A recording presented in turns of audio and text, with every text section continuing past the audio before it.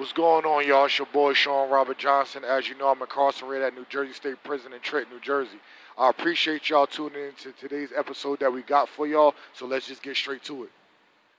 What's going on, everybody? Welcome back to another episode of Prison Audio with Shawn Robert Johnson. That's me, your host. As you know, I'm incarcerated at New Jersey State Prison in Trenton, New Jersey. And don't forget to become a subscriber for free on both of our YouTube channels, at Prison Audio and at Shawn Robert Johnson. Also, you can follow us on Instagram at Prison Audio and at Shaw John 1222. That's S H A W J O H N 1222. So, for today's topic, I want to talk about is dating someone while serving time in prison, right? No matter if your sentence is short, whether it's long, but we just want to talk about it. And I talked about this topic you know, briefly here and there, but I want to dive deeper into it for the whole episode for today. So, if you want to know, does being in prison affect how you view dating and how are we able to navigate relationships while we're incarcerated? That is a legitimate question because viewing dating is completely different from being in the free world. You know, you know you have so many limitations. So like you gotta put ultimate trust into that person that you are dating in the free world that they are genuinely who they say they are. And it's hard navigating it because like I said, you have many different limitations. I like to look at it as a long distance relationship with restrictions. And it's like that because everything is on a set time, basically on phone calls uh, and stuff like that. You know, visits, and it's like you don't have that interaction back and forth how you would normally have on a daily basis in a relationship. So I'm just going to dive into a lot of that stuff throughout this episode, what I'm talking about. So in prison, we have prison dating sites. And a prison dating site website is a platform designed to connect us in prison with someone in the outside world who is interested in forming, you know, friendships, pen pal relationships, you know, sometimes even romantic connections.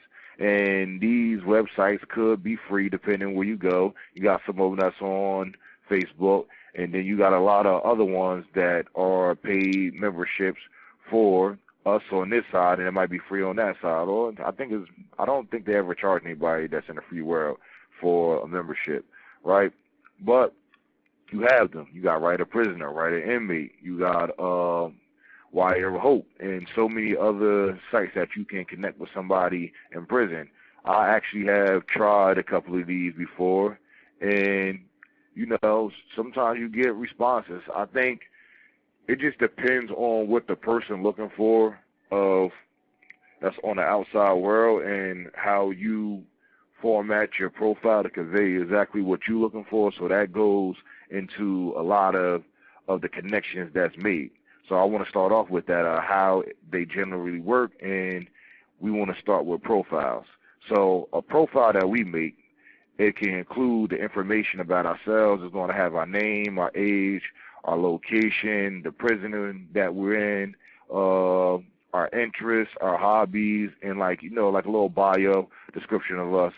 And these right here are something that is allowing a person to know who we are. You can add pictures, you can add poetry, you can add a lot of different things to your profile. And you are going to get matched up based on what a person is looking for. Like you go on to write a prisoner bill on there, like the first two weeks they put you on the main page, and then after that you go on a different list. Like if you haven't got mail in a while, they'll put you on that list. And every time you upload a picture, it's like an extra ten dollars. But they'll put you back on that main list for like a couple of months, I think two months. So when a person go up there and they able to go through the profiles, like you can look through age, gender, location, interests uh, and those type of things to see what type of person that you want to contact that's in prison.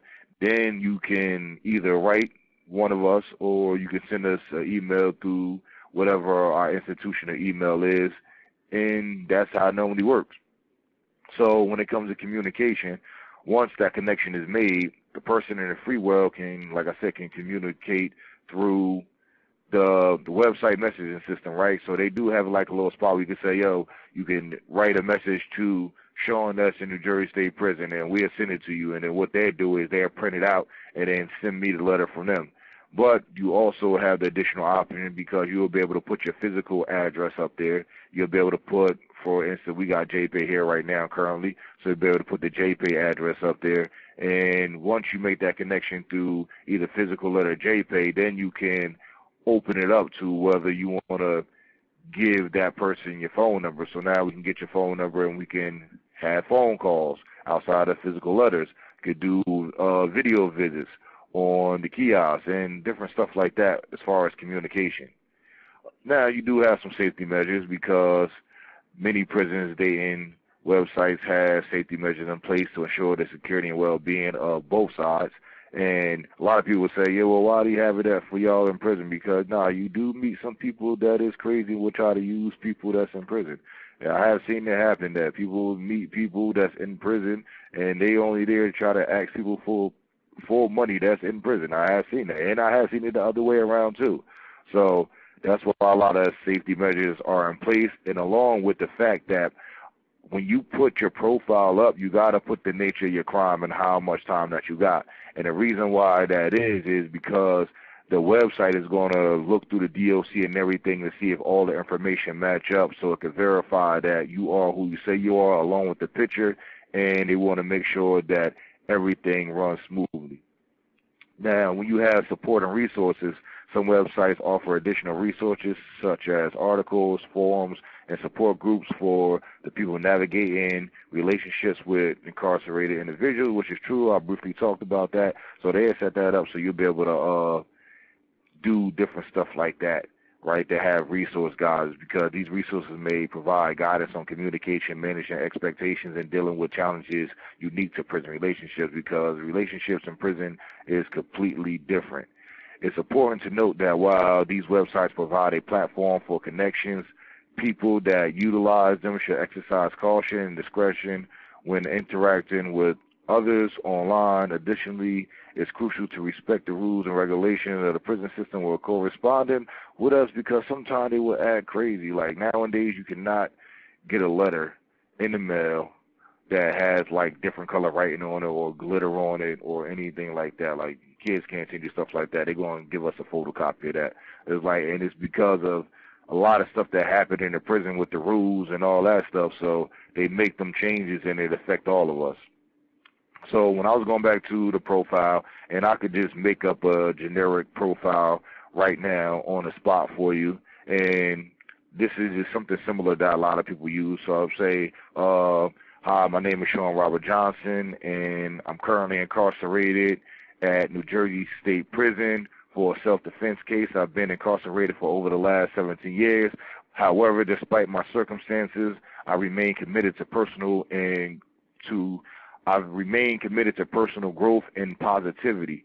Since I've been here in prison, I've found solace in the sports, particularly basketball. I excel on the court and find it to be a source of both physical and mental strength for me, as well as me doing Bible studies. Uh, I'll do a podcast as a host. I'm a motivational speaker. I'm a thriving entrepreneur. So these outlets have allowed me to connect with others and share messages of hope and resilience in so many different ways that show you that it's not about your situation. You know, I'm a Christian man, come from my family, and, and my faith has been a guiding light throughout my journey. I'm seeking genuine connections with individual with individuals who are understanding, compassionate, and open-minded. If you're interested in getting to know me, I'll be grateful for the opportunity to correspond and share experiences.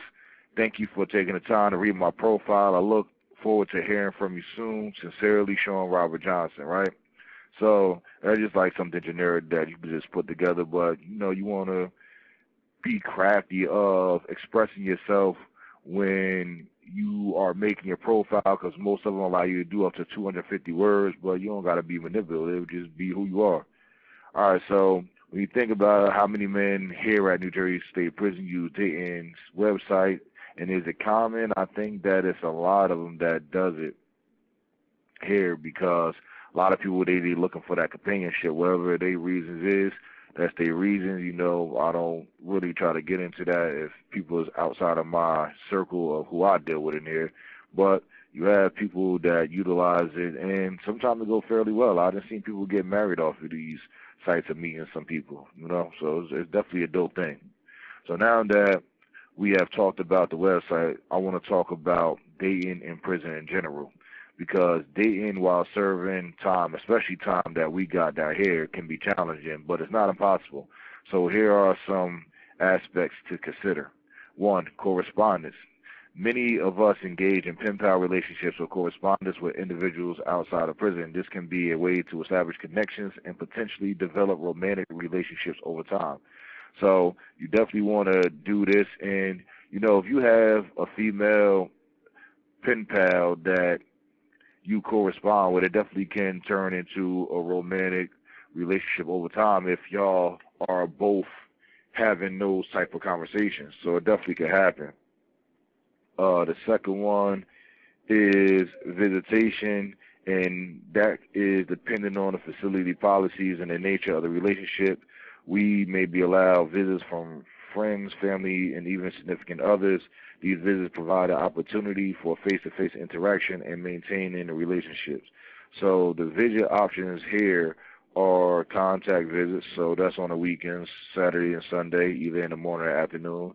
And if you're coming from out of state, you can actually do both. You could do all four. You could do Saturday uh, morning and afternoon, Sunday morning and afternoon.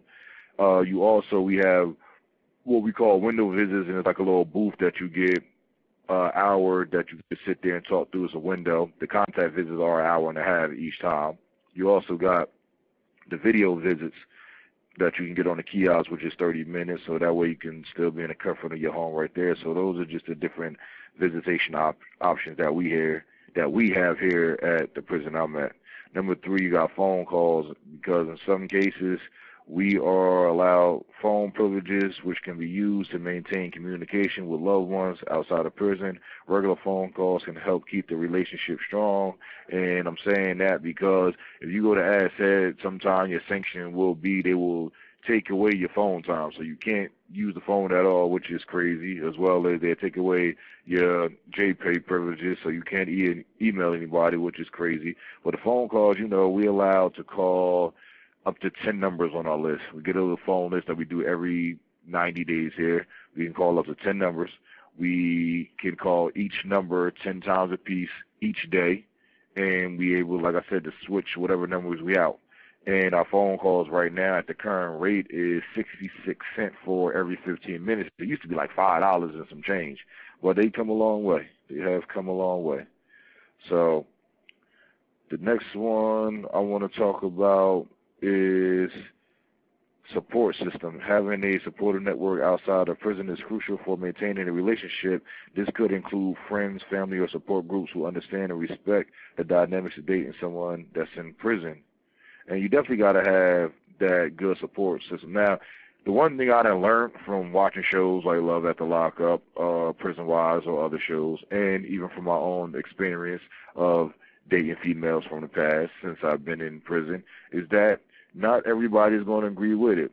Some your family and friends, for some reason, they just going to think like, yeah, this person ain't good for you for this reason and this reason and this reason, right? They think they just use you for whatever reason. And then on the other side, the person on the street, their family and friends can be saying the same thing. Yo, that person only want to use you because they in prison. So like that right there is something that happens a lot. It happens a lot. But however, as long as both people are genuine, I think you can get past anything.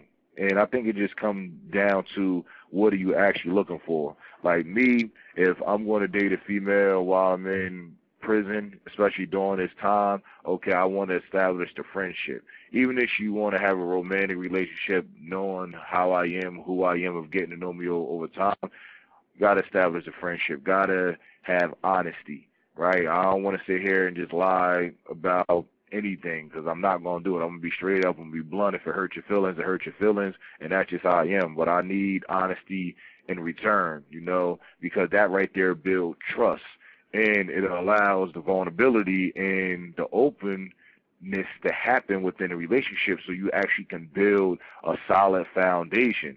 So those type of things and be willing to communicate as as long as you have that ingredients of things, that ingredient that ingredients of things, then it can go a long way. You know, it's a lot of stuff that's that's going to have to be discussed as far as boundaries. You know, but at the end of the day, I'm going to do what I need to do, and if you do your part, and then you helping to kick up to, to get me up out of here, that just make a good recipe for success right there.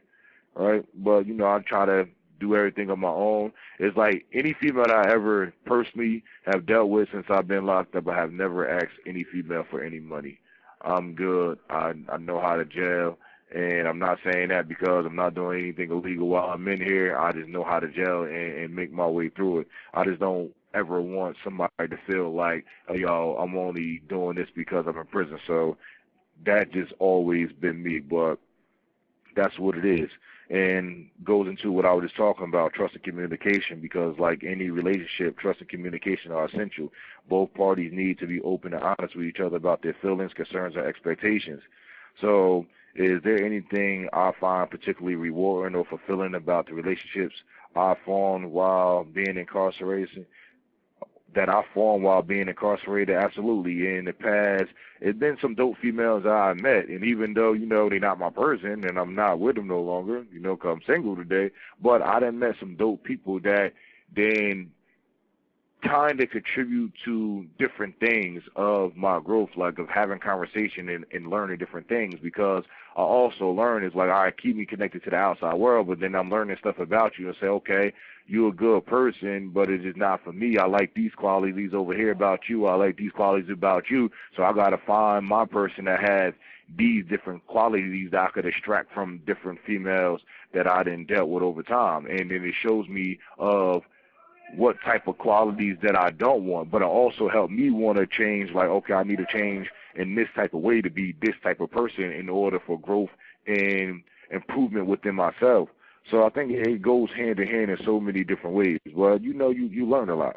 So dating someone who is serving a long prison sentence comes with its own sets of challenges, including limited physical contact, restricted communication, and social stigma and societal stigma. However, with patience, understanding, and commitment, relationships can thrive even in challenging circumstances.